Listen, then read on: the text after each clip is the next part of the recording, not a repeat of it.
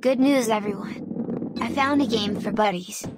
You need to control the ball with your finger, or psychokinesis.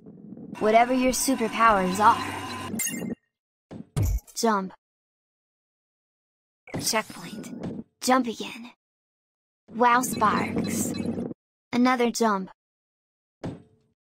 Even more sparks wow! Checkpoint. Swipe, swipe and fly.